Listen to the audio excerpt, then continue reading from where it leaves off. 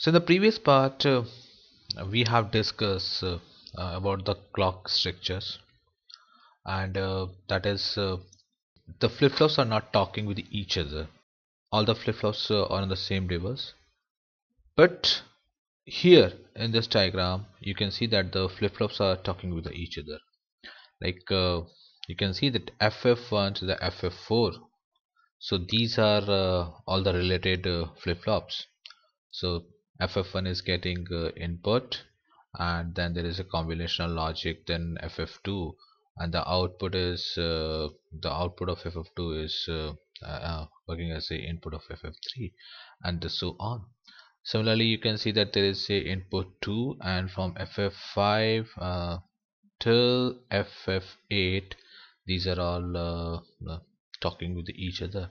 You can say these are the related one so now if you have noticed that the clock path has different number of buffers also. In the previous part we uh, we have uh, noticed that uh, we have interconnects and we have the clock buffers.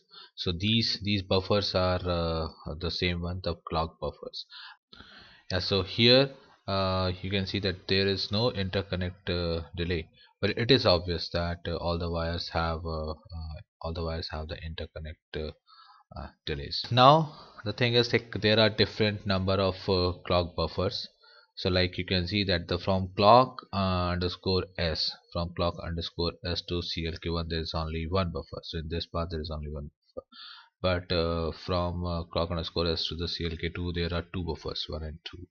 And uh, for uh, clk3 there are three 2 plus 1 plus 1 the 4 buffers. So this is like we are adding the delay uh, clock to clock. So between clock 2 and the clock 3 so you can see that uh, these are the two extra extra buffers. So obviously these are going to add uh, delay between uh, clock underscore s to the uh, destination clock whether it is a clock 4 or whether it is a uh, the clock 8 so we have already discussed that uh, clock skew is the variation at arrival time of the clock at the destination point in the clock network. Or you can say that the difference in arrival of clock signal at the clock pin of different flops. So it means that uh, skew can be local. Local in the sense uh, between one flop to other flop. So like between uh, ff1 and ff2 so this is this this is the the local one between ff2 and ff3 these are the local ones. Ff3 to ff4 these are the local ones. So skew can be local or it can be global. Global in the sense across the design. So if we are considering this as a single design so between the CLK1 and the CLK8 between these two clocks what is the time difference that is considered as a global skew. So skew basically skew are basically of two type. One is the global one another one is a uh, local one. So if we are talking about the local skew then we have to see the difference of arrival time of related flip-flops. So what do you mean by the related flip-flops? The related flip-flops are those flip-flops which are talking with each other. Or like uh, in this case uh, the ff1 ff2 ff3 and ff4 these are the related flip-flops so these are related with respect to the single input. So this input is transferred through all these flip-flops. So these uh, four flip-flops are the related flip-flops. And the unrelated flip-flops are like if we are if i'm saying ff1 and ff5 so these are unrelated flip-flops. Because uh, data is not uh, this, uh, that input data it uh, so these two flip-flops are not in uh, connected with each other with the with any particular combinational logic on the input input data I would say so ff1 ff2 ff3 ff4 these are the related flip-flops similarly ff5 ff6 ff7 ff8 these are related flip-flops but whenever we, we are talking about between these uh, two uh, different set of related flip-flops so uh, I would say that these are the uh, non-related flip-flops ff1 ff5 ff2 ff6 or ff2 ff5 so these are non-related flip-flops.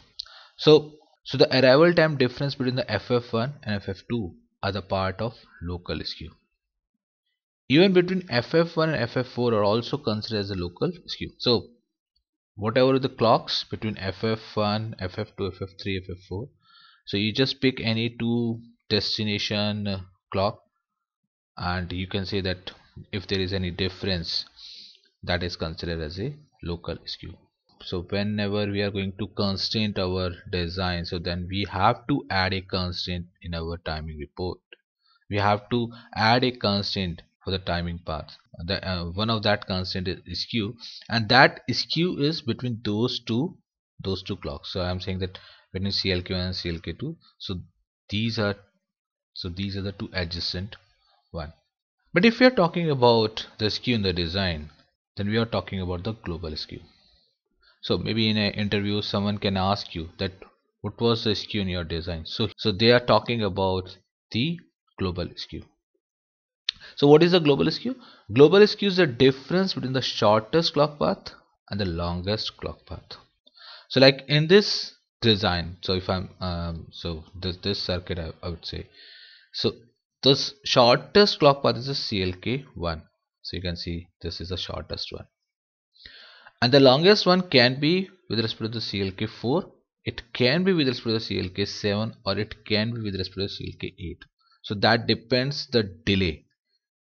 So if uh, the delay between the clock underscore s and the clock 4 if this delay is more so this is considered as a longest path. Similarly if this one is CLK7 this delay is more that is considered the longest path so the global skew is uh, basically the difference between the shortest clock path and the longest path. It doesn't matter whether these two paths, the shortest and the longest, are in the same related flip-flops or unrelated flip-flops. So, as I said, the clock underscore s. So, uh, assume that this is your clock underscore s pulse, and uh, next one is a clock one. So, if I'm saying that this one, so with the, some delay, this become the clock s clock one. So I just change uh, the clock underscore as to the dotted one. So this is a clock clock underscore one.